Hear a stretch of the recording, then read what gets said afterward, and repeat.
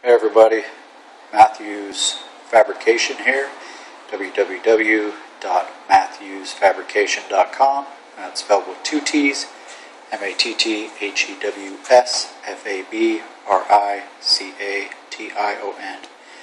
Uh, here we are mounting a one of my custom cheek rests to a Hogue overmolded stock. Uh, sorry, I have allergies, and I've already prepped it. Put it on, place where I want. I drew a line uh, about where the uh, bolt will come back. So when you have a a bolt, of course, open it up. Make sure the cheek rest is far enough back. Uh, if you want to get your bolt out of your uh, rifle for cleaning, uh, you can put this back far enough. But you also want to check your eye relief.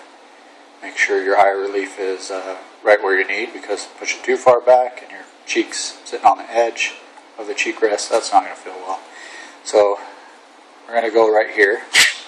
And what you do is you uh, either get a pencil, I put tape, and you put uh, a mark on all four sides, or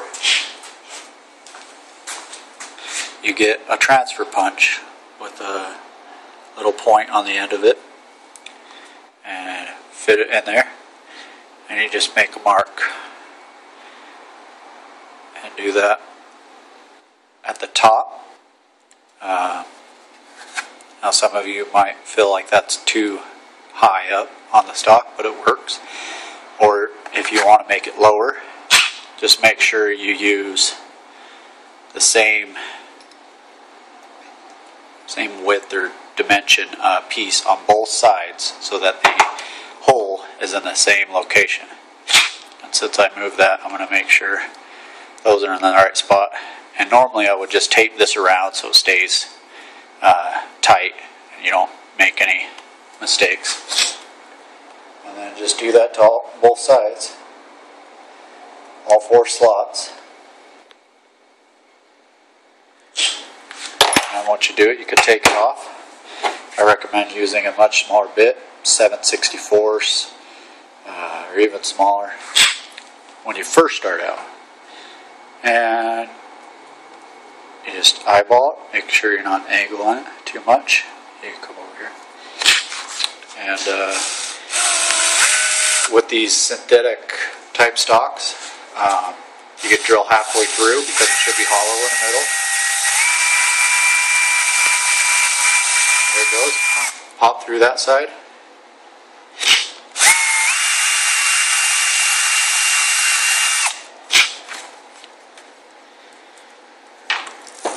Let's flip around.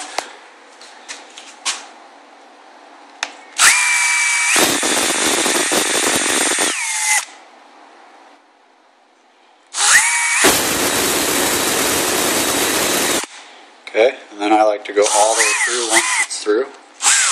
Find that other hole. It'll be easier once it's uh, on here. Where is it? There it is.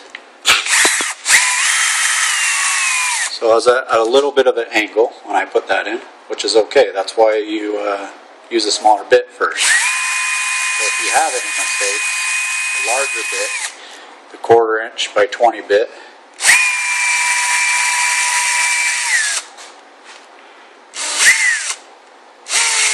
There it is. We'll uh, fix those mistakes.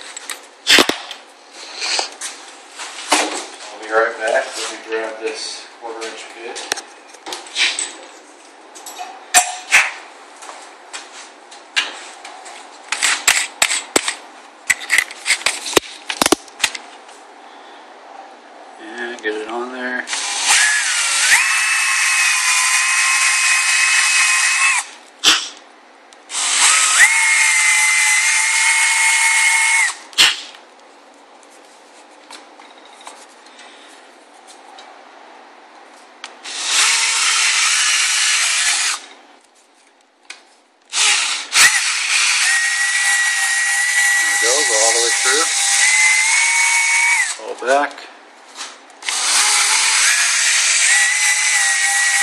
All the way through, go back. So I've never done a Hogue stock, so this is the first time. Let's see what it looks like.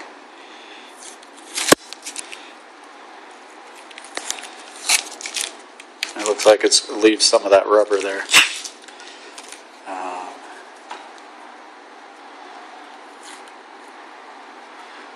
Like it leaves a nice hole though.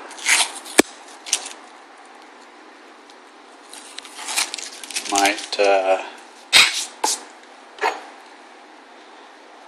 be a little bit of a problem for the quarter inch bolt. So it actually looks like you might have to get just a slightly bigger.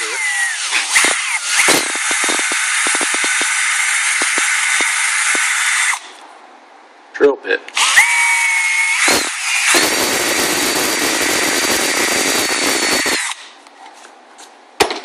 Let's find out.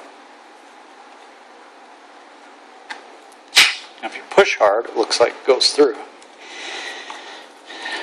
And that might be good because if it holds the bolt, that will help it uh, from twisting so much. Because sometimes these knobs are a pain. But we put a lot of uh, time into them. We drill them out because the nylon uh, washer is a little bigger than it should be, I think. We drill them out and we also tap them. Tap that nylon washer with a little tap um, just so it's not as hard on you guys. Okay, so one's long, one's short. Long one goes in the back. Put that in there. And if it's you're right-handed, your cheek's going to be on this side. You want the bolts on this side. There we go. And one more. It's just a little tougher to get in because of that rubber, but I like it. I think it feels nice, actually. Keeps it nice and tight. And take a knob. And you will have to cut down your uh, your bolts. Press press on your uh, other side. One mounting. Looks like the Hogue stock's a little smaller, so we might actually just get uh, one of the smaller bolts and ship two of those with you. I'll make sure to make, or I'll check to make sure uh, the shorter bolt fits in the back one. And if it does, we'll just send you two short ones. So, there you go. It's mounted. Uh, if you like it more even, you know, you can do that. Just make sure you have enough uh, room when you do it. Raise it up, loosen them a little bit, and wow, there's a little bit harder with the Hogue stock because it sticks to it. That's good because move on you.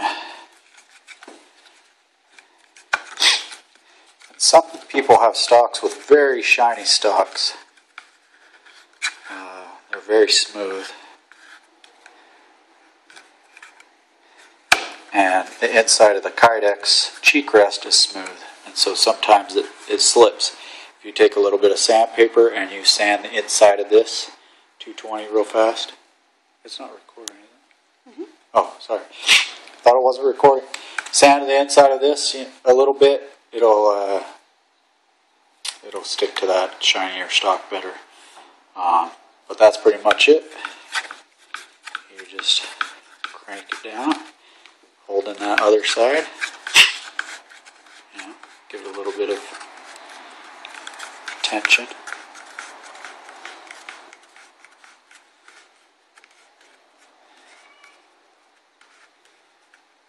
Crank it down.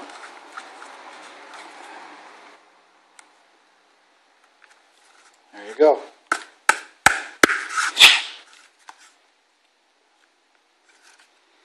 nice and tight. Give you a nice, uh, much better cheek weld. This will go up to an inch and a half, approximately, maybe a slightly more. These are one and a three quarter inch slots, but you minus the uh, quarter inch on the on the bolt. So inch and a half inch adjustment. So there you go. Thanks for watching Matthews Fabrication. Check out my uh, other videos and uh, go purchase a cheek rest at matthewsfabrication.com. And yes, it looks like we'll provide two of the shorter bolts so you have less to cut.